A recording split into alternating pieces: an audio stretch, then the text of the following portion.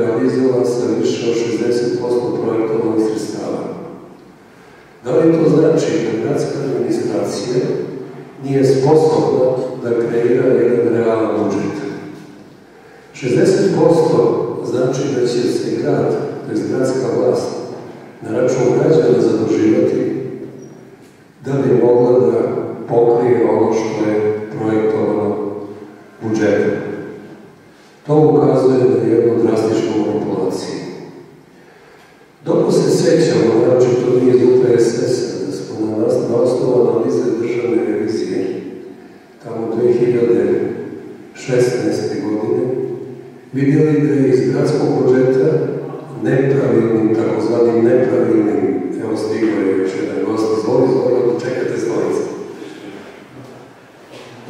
Gavrilović iz, iz organizacije Biologije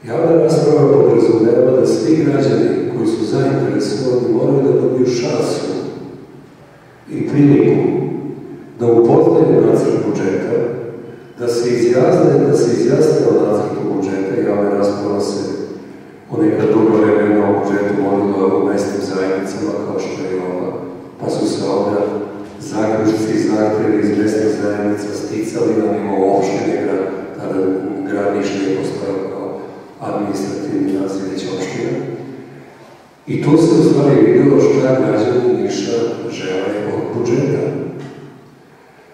Kako je došla ova tranzicija, javna rasprava se, evo našla se, evo ja ću dati nekoliko, nekoliko podataka.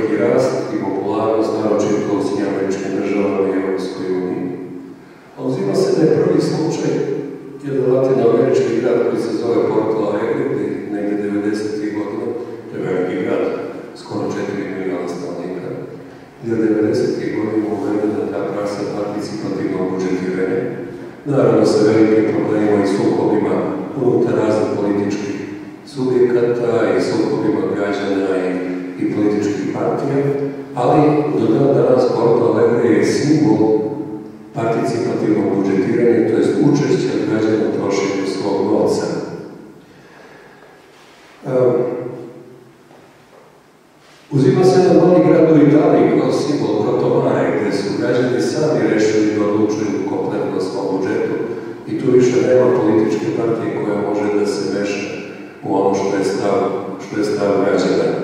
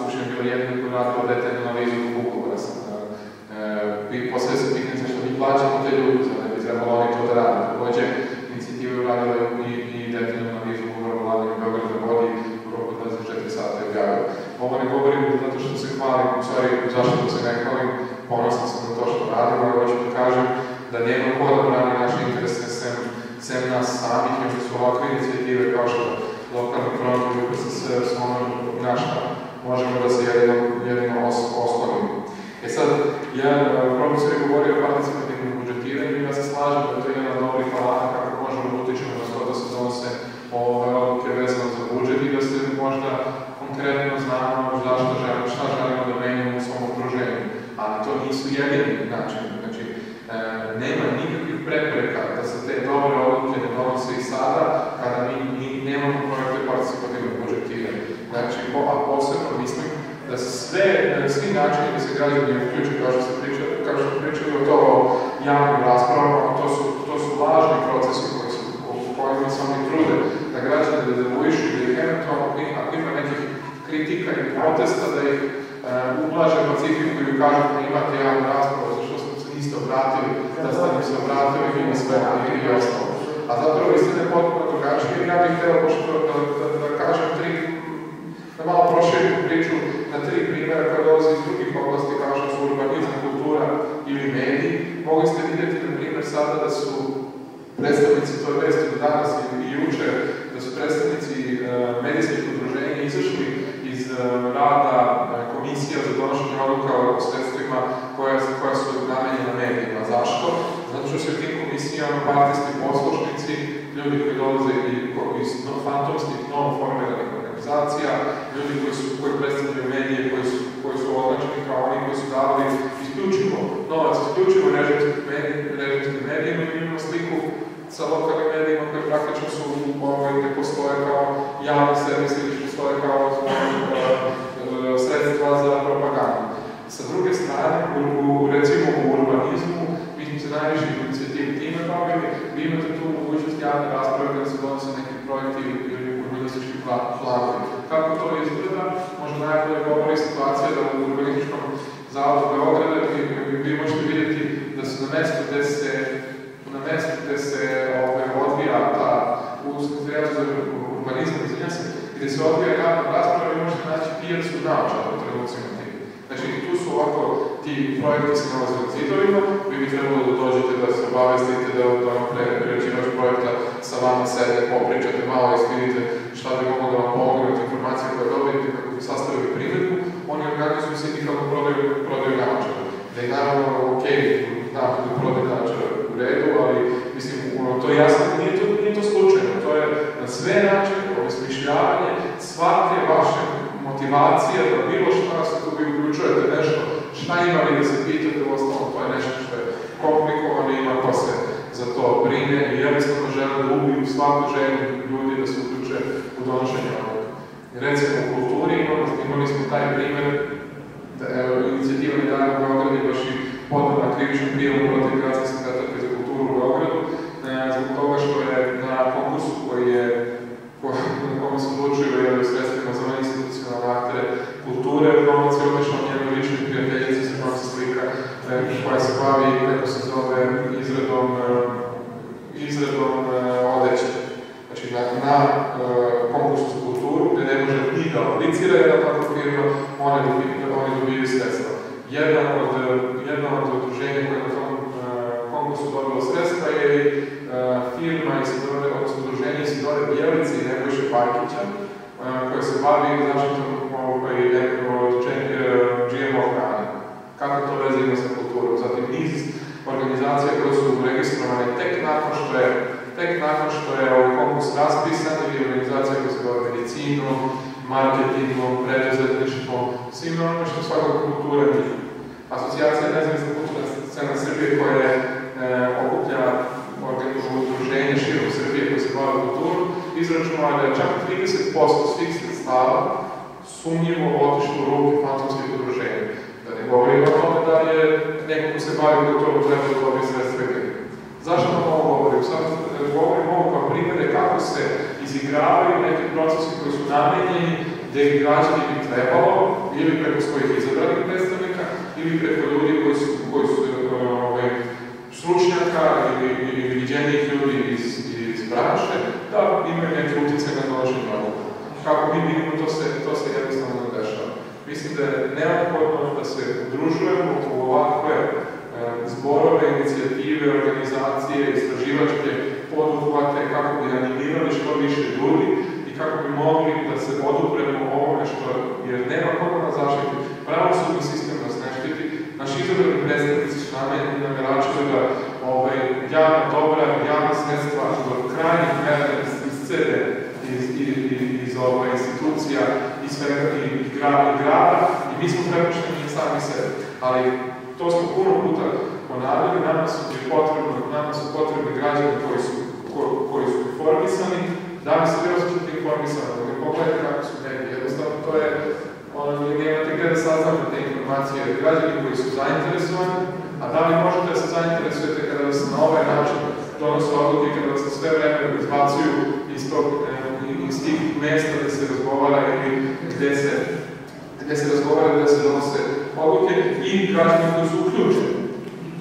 Jedino mesta na kojima se dešavaju tri stvari su inicijative poput UPSS, lokalnog fronta i drugih inicijativa po, po Srbiji. Znači, mi moramo da se organizujemo i da se suprotstavimo ovim trendima koje, koje se dešavaju. To je na početku.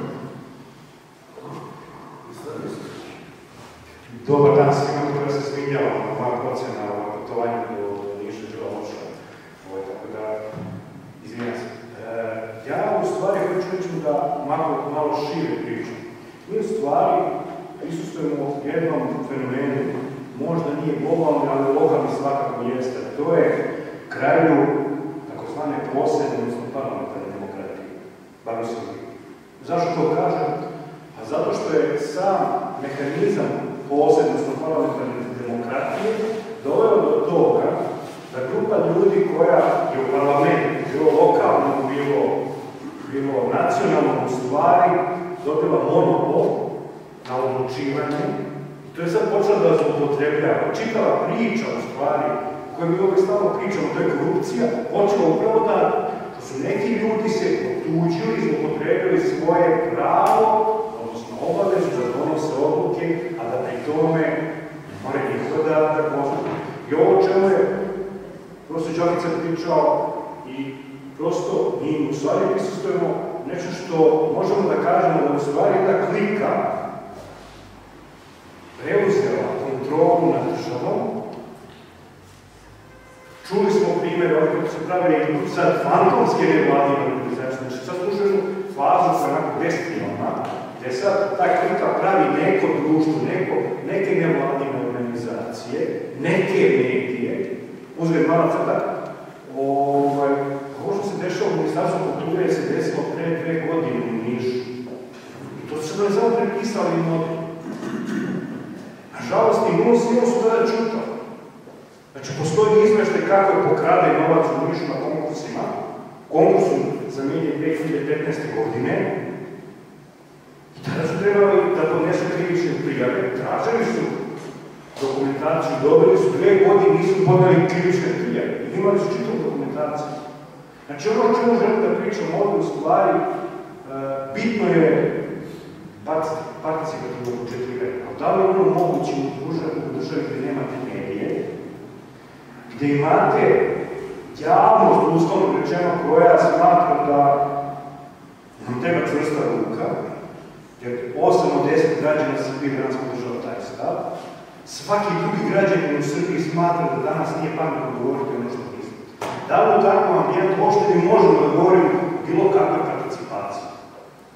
Zato ja mislim da je u stvari lep i mislim da ova inicijativa prosto aktera ovaj, može da i, i mora da zagovara koncept deliberativne demokratije. To je nešto što ja mislim i o, prosto, to je ono što može jedino da pomogne ovom društvu. I zato priča koju danas pokrećemo jeste vezana za temu e, parcijalnog budžetiranja, ali mislim da je jako bitno stvari otvoriti temu demokratije u Srbiji. Da li uopšte mi imamo te neke elementarne pretpostavke da ono što je u antičkim gradovima bilo definisano kao jednakost, znači ne samo pravna jednakost, nego jednakost građana, da mogu da kažu, da budu, što bi se rekao, saslušani i da se na, na njihove argumente osvobodi. I, I ukoliko to ne, mi nemamo. I zato priča o participativnom budžetiranju jeste priča koja prosto mora da ima svoj normativni, svoje, znači normativno uređenje u zakonu. Pazite, znači, profesor Đokica je ovdje napomenuo primjere gradova. Znači, postoji čak primjer naučnog istraživanja. To sprovodi profesor John Fishkin sa univerziteta u Stanfordu, znači napravi centar za, za, za gde je pokazao da većina ljudi kada donosi odluku su, da su te odluke kvalitetnije nego kada donosi grupa, po znacima, grupa eksperata pa ono zagradu korumpirani. Mi smo vidjeli ovdje kako eksperti pravilno mi živimo posljedice tranzicije koje su eksperti donosili odluku. Ne građani. Tako da mislim da prosto zakon o deliberaciji jeste nešto čemu treba ozbiljno da razmislimo. Priča se da Srbija ima ustav, iako posle 140 godina od kad smo priznati na Berlinskom kongresu, pitanje je koliko ovdje države ima, mislim da pitanje donošenja novog ustava mora da otvori i ovo pitanje. Jer zaista priča o demokratiji nije samo priča o nekoj, o nekoj oligarhiji koju građani na ovakvim onakvim izborima, ja ne mogu da kažem izborom koliko više u stvari aklamacije imaju, jer u ovom društvu gdje vi nemate slobodne medije, tu nema izbora, ako nemate javnost, nema izbora, jer mi nemamo javnost. Tako da, mi moramo da otvorimo pitanje prirode demokratije u Srbiji i onda pričamo i o dodali novca medijima, Znate šta, ja dolazim iz civilnog sektora, veliki je problem kako se deli novac organizacija civilnog društva. Juče su, mi ljudi zvali iz Niša, ovo proste iz Novog Sada, gdje su mi rekli da, da, na konkursu za omladinske projekte novac je dijeljen sportske organizacije, nije po zakonu mogu vršiti organizacije civilnog društva. Odnosno organizacije koje se bavimo. Znači, prosto ovdje ozbiljna zloupotreba države, gdje određena klika želi u stvari da očuva sistem, jer je taj sistem nasledila od prethodne klike koja je ostala nekašljiva i koja nije procesuirana. Dok taj krug prosto mi ne prekinemo, nama će se u stvari dešavati ovo čemu pričamo, da se u Nišu potroši novac, četvrtina budžeta grada Niša, Tako da, tu prosto neki ću da, da prigodim kraju tema deliberativne demokratije i stvaranje pretpostavki za da ona stvarno bude funkcionalna, jeste preduslov da mi imamo građane koji se pitaju i bili pitaju. Bez toga nismo za mogućno društvo. Hvala.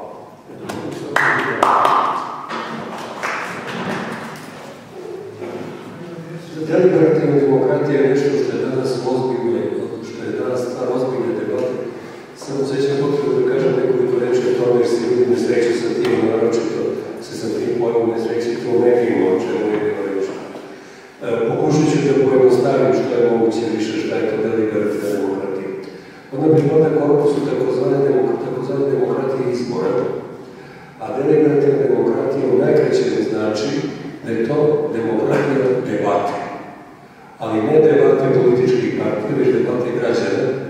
Zato i povezujemo to sa participativnim budžetiranjem ili učešćem u budžetiranju. To znači da građani moraju da debatuju sada ne samo o budžetu, nego o svim političkim pitanjima. I na osnovu te debate koje sprovode građani se formira politika jedne lokalne zajednice ili politika, politika države. Tu se sad ispostavlja jedan problem da građani koji učestvuju u deliberativnoj demokratiji treba da budu kvalifikovani građani. Dakle, traži se jedan nivo poznavanja problema. Pa se tu sada nalaze razni drugi momenti i modeli da se građanima prvo da pre nego što uđu u debatu o nekom društvenom problemu, da se njima da, da jedan niz dostupnih informacija o tome o kakvom se problemu radi, dakle objektivnih informacija, na osnovu kojih će oni a, diskutovati. Sam koncept, kao i svaki koncept pravedne demokratije, podrazumijeva jedan ceo niz vrlo, vrlo, vrlo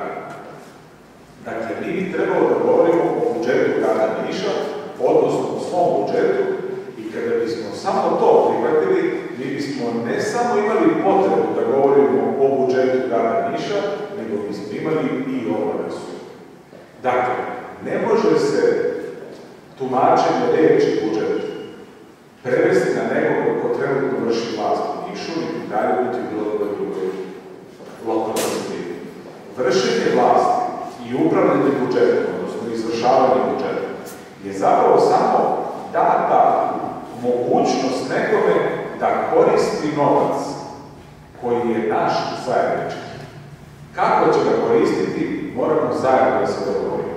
Ko će ga kontrolisati kako koristi, morat ćemo mi, jer nema ko drugi. I kad god pomislimo da bi neko trebalo da kreira budžet, da ga napravi, izvrši ili kontroliše njegovo izvršenje, mi bismo došli do toga da smo sve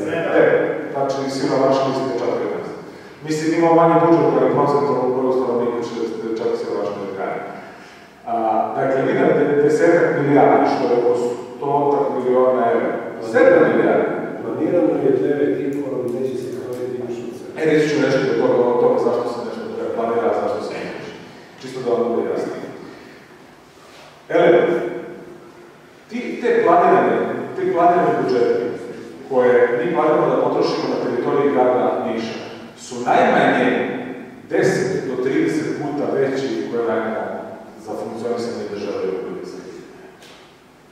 Dakle, ukoliko ćemo potrošiti oko 7, da to sada se oko 50 već ubira po raznim osnovama u gradu Nišu i da se troši za državne Država ništa ne daje svojim građanima, jer je to inače vlasništvo Niko ništa ne daje ovdje zbog lepih očiju, duge piste i kratke pameti, nego daje zbog toga što je to naše.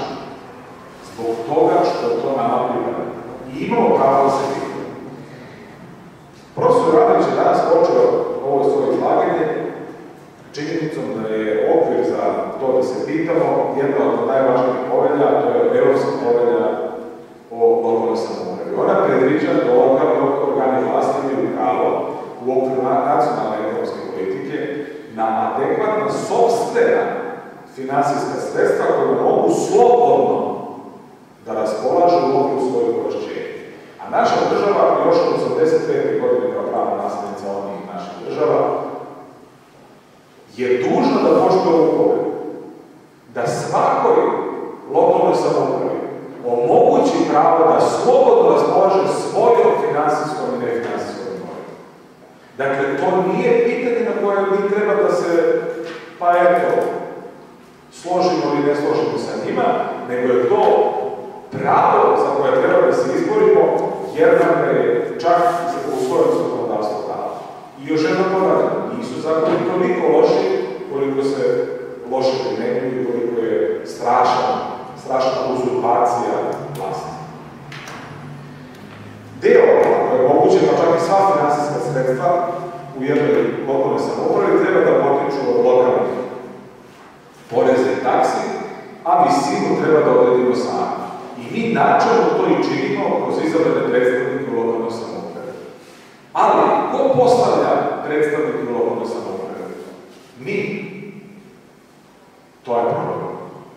Kada bismo mi birali ljude u svojim lokalnim samoupravama, mogli bismo njih da pozovemo na odgovornost, da kažemo mi neposredno preko vas odlučujemo o svom budžetu. No oni kako nisu postavljeni s naše strane, nego od strane Srbije koja poveđuje drivci na vlasti, oni kažu vi ćete sedeti tu, tu, tu, tu i tu i oni sa stanovišta odgovornosti savršeno dobro odgovaraju svojim nalogodavcima.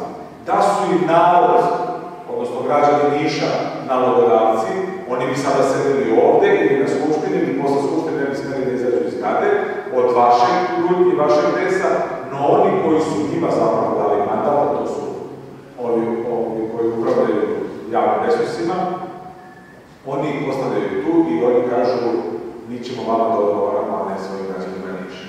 I tu dolazimo do ključnog razloga zašto mi moramo da učestvujemo u vršenju, odnosno udruženju budžeta i prikupljenju. Zato što se radi o javnim resursima. Zato što to jeste svih nas. Zato što i porez koji se prikuplja iz privrede i ono što se, što se uzima vode, što se uzima naknade za korišćenje raznih taksi, raznih prirodnih dobara, pa čak i prodaje imovine, to jeste imovina naša. To je imovina. Reći ću vam jedan primjer, nedavno sam razgovarao sa kolegama u Hrvatskoj, baš kad je bio aerodrom u Nišu tema, i onda smo govorili o tom, o tim milionima evra koje država daje. Polostalo Pelješac znatno ima 8000 stanovnika. To vam je, pa ima možda tamo, ovaj kvart iz ideje, otprilike vjerojatno ima toliko ljudi. A pravi se autoput do Pelješca. Autoput koji će koštati 300 miliona. I sada naravno ljudi pričaju pa da je to ipak turizam. Pa nema tog turizma koji će opravdati 300 miliona, nego će da se stvori turizam koji će opravdati 300 miliona. Ne može se na 8000 zaposlenih stvoriti 300 miliona, nego će se stvoriti prilika da se stvori 300 miliona za toga. To se isto dešava i ovdje. Nije samo u pitanju. Pitanju su mnoge druge stvari koje mi zajedno plaćamo. A šta je to što mi zajedno treba plaćamo? To su zajedničke potrebe. To su komunalne potrebe, komunalne poduzeća, ustanove i sve ono što nam čini život zajednički mogući. Inače, ako ne, ne koristimo ništa zajedničko, zajednički može da nije ni potreba. No da, da smo tako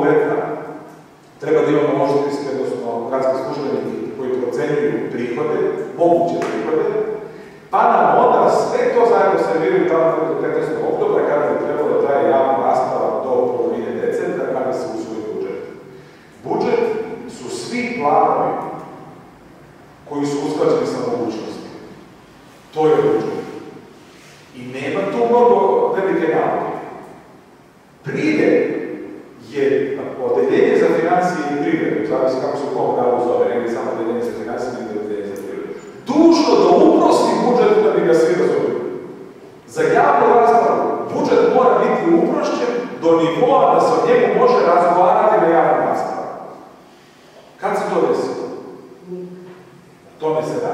Dakle, nije nama tema bilo šta drugo, nego poznavanje svega ovoga i uverenje da nešto svoje rešava, da o svojim problemima sami odlučujemo. A zašto mi sedimo u ovoj prostoriji nas 30 večeras? Ne zbog toga što ćemo mi sada preustaviti migratsku skupštinu Niša, niti ćemo uzeti republički parlament. Ali da vas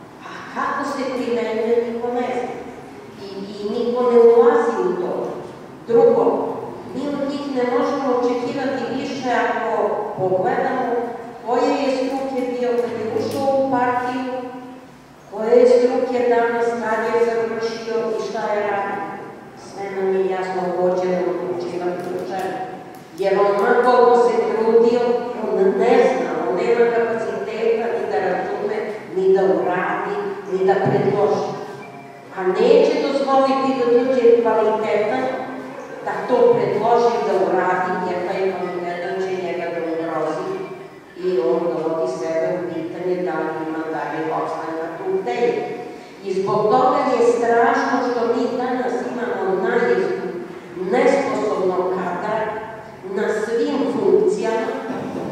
koji su nedodirljivi, koji rade onako kako oni smatraju da treba, ne onako kako, kako bi trebalo po tim takvim kakvim zakonima da im se suprotstavimo trenutno u ovoj situaciji, vrlo su, vrlo su male mogućnosti. Jer oni nas puste da mi ispričamo, da mi kažemo nešto, da mi iznesemo to što i oni, kad ih zaterate u čašak, oni priznaju sve te manjkavosti, ali kad mi okrenemo leđe i odemo, oni urade po svom. Naprimjer, šta je, policija postoji u članu 3 njihovog zakona stoji da ta policija treba da štiti građane i njihovu imovinu. A ja sam se na svom primjeru uverila da policija dođe, vas odvede, udaljiva da bi onaj ko hara po vašoj, po vašoj imovini, da bi on mogao da završi drugi ne smete. Što znači, e, šta uraditi i kako, to je već nešto mnogo diskutabilnije, nešto mnogo bitnije i nešto što po mom shvatanju do sada, bar mi koji se okupljamo ovako, koji vidimo neki izlaz ili neke metode da se nešto samo masom, jer oni se od mase plaše. Za njih je najveći, najveći strah masa. E tu je nešto što njih natera, natera da oni popuste, prihvate i to. Mi vidimo naš gore predsjednik kad kaže on sve što radi, on radi u cilju građana. On najviše voli Srbiju i on se najviše zalaže, zalaže za, za građane. Stvari niko više ne gazi, niko više nije ponizio građanina, niko više nije zgazio građanina, niko više nije pokrao građanina, niko više nije doveo građanina u jednu situaciju da ga tretira nekim malomnikom koga koji priča šta je, on kaže neka pustite ih vi, neka ih ne šetaju, ono ne pričaju, malo proći će to. Znači, nemate vrednosti građanina od bilo koga ko je na vlasti. O budžetiranju, mislim, oni su uradili da su kasu svake lokalne samouprave prebacili u oni tvoju kasu i sad ti razmišljaš da ovdje, šta li će ti udeliti iz te tvoje kase? I on kaže, ja ne dam pare, nemojte vi da da pare, ali ja vam ne dam. Da ga pita čovjek, čije pare? Čijim parama on to kome ne da? A uzeo je naše pare. Je gore i kaže, ja ne. Drugo, i oni iznose i kažu da je taj aerodrom, koliko posto je on a, opremljen iz donacije, koliko posto iz učešća s Republike, a koliko posto iz učešća iz samodoprinosa građana Niša. Pa ako je taj naš prvi predsjednik zainteresovan i priča o nekom ravnomernom razvoju Srbije, a znamo da je taj jug najveća tuga Srbije, čemu se onda ovako, to znači, uzeli smo vam malo banku, prebacili smo u Kragujevac. Niko ne, nije niko u Nišu izračunao koliko je Niš izgudio zbog te narodne banke koja je prebačena u Kragujevac.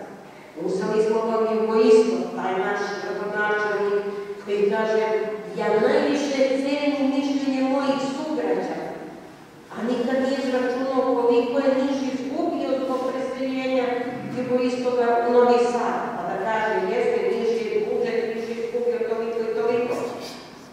Ovoga to. Ali kaže, kad ga, ga pitamo 10 dinara poreza dano u Beogradu, vrati se dinar. On kaže, a pa tako mora, to je po zakonu. Znači, nema zaštite građana, nema zaštite niša, ti štitiš partiju, ti daješ partiju koliko treba.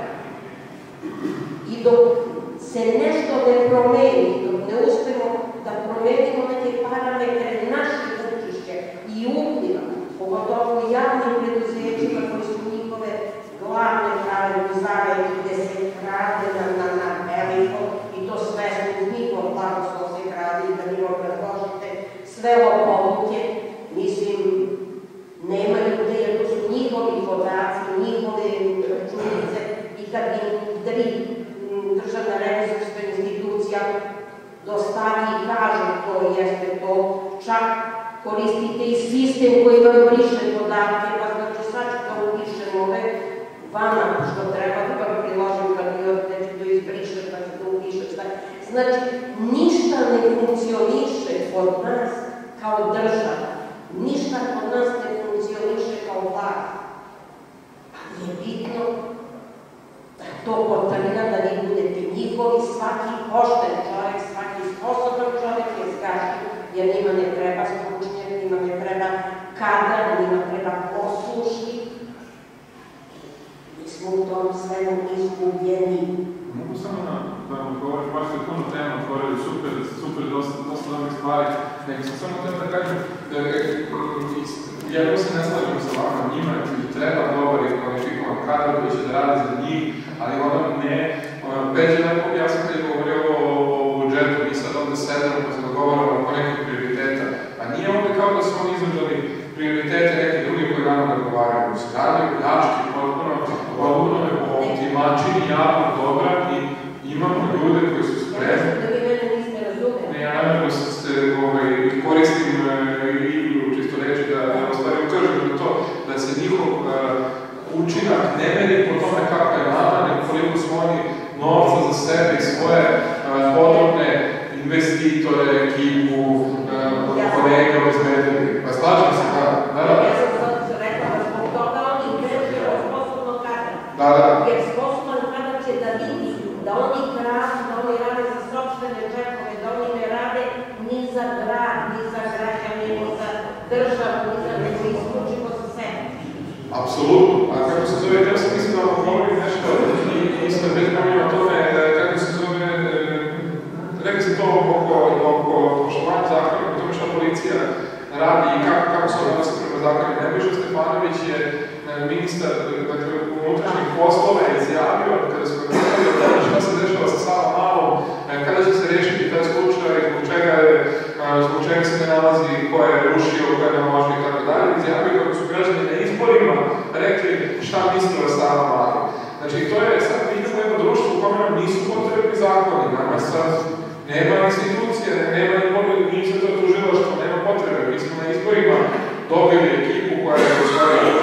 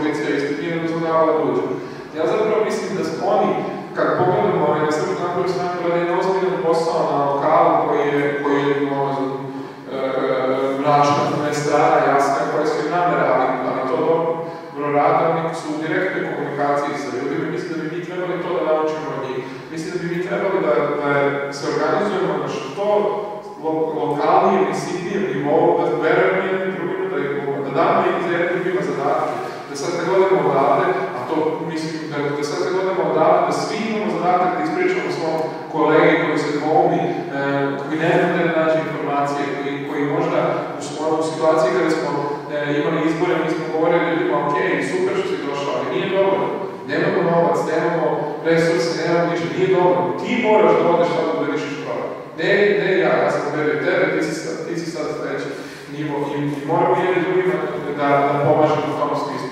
Ok, tako su ti u izbore, sada ja vam nemam tebe nađe informacije, ok, obavestite svoje prijatelje gdje nađe informacije. To je ono kako možemo doći do tebe te osobnosti. Naravno, pravo ste, oni se s plaše i to je pokazalo što se kažemo, U Nišu to je pokazalo i ovo što ali kako do te masovnosti, to je jako težak posao i mislim da ovo je jedan od načina, u trenutku da nema medije.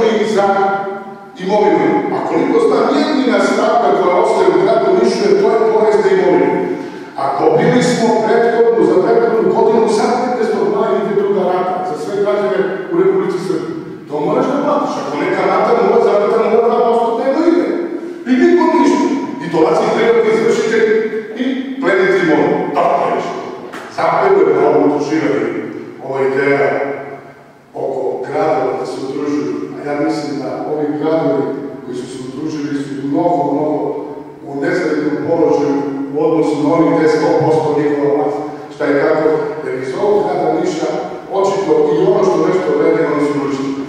Ali ne više uništavaju, nek nas stave na miru, jer ima ovde pameti i u ovom druženju i među vama koji mogu i tekako da povedu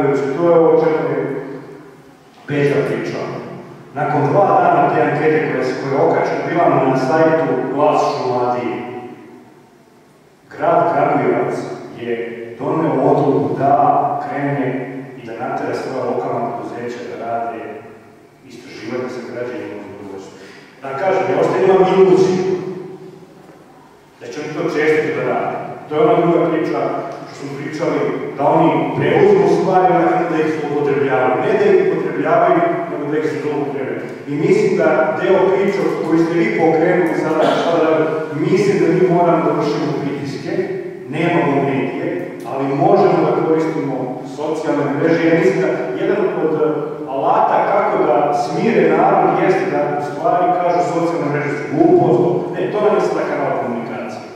I tako da mislim da prosto uh, građenje javnosti je jako bitan proces, ono, ono što njihov cilj jeste da nas atomizuje. Znači da svako gleda svoju muku, da Kragujevac kaže ne ništa, ništa, u isto, znači da svaki građanin gleda samo sebe, to je njihova strategija. Alternativa tome jeste uvržavanje strana i poverenje i solidarnost. I za kraj, molim profesora Đokiću da organizujemo temu i nešto što jako. Bez čega nema priče ni o deliberativnoj demokratiji, ni o ni budžetu. To je industrijska participacija.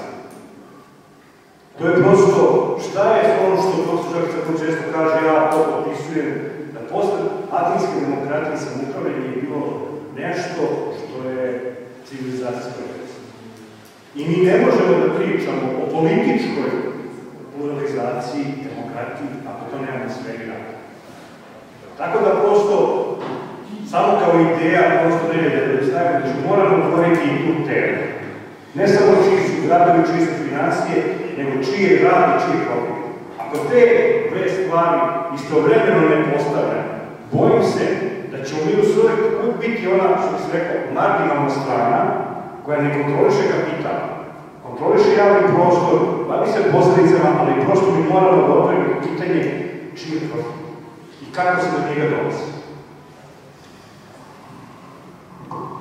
Ljubi se ti javio, činilo mi se da se javio. Ovo pitanje koje ti otvaraš je suviše važno pitanje, ako zbog čega zbog jedne bitne dimenzije koje ljudi ne znaju, ne obraćaju pažnju. Kada se postavi pitanje o imovini, onda se kaže da je to kuća, da je to račun u banci, da je to profit, da je to auto. A niko svoj rad ne smatra za svoju ličnu rad je također imovina koju mi neštedenice i nesebično poklanjamo drugome. To bi isto bilo kakav imamo odnos prema onome što je naša imovina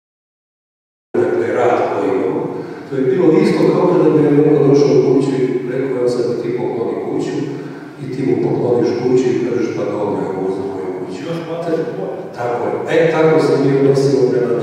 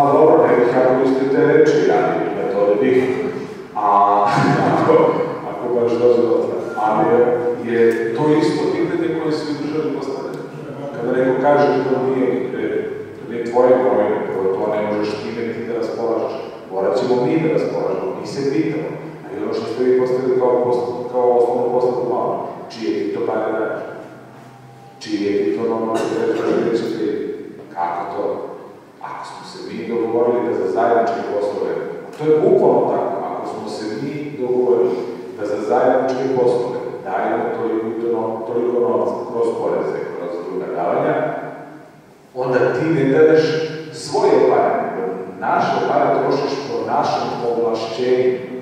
I mi, onome kome dajemo ovlašćenja, imamo pravo da budemo svaka vrsta kontrola. A to da ne pričam da određemo još način na koji se troši taj novac, to, je, to nam je čak i obaveza. Ako se niko ne javi, šta je sad bilo ko se javi? Ja. Mislim, ovo je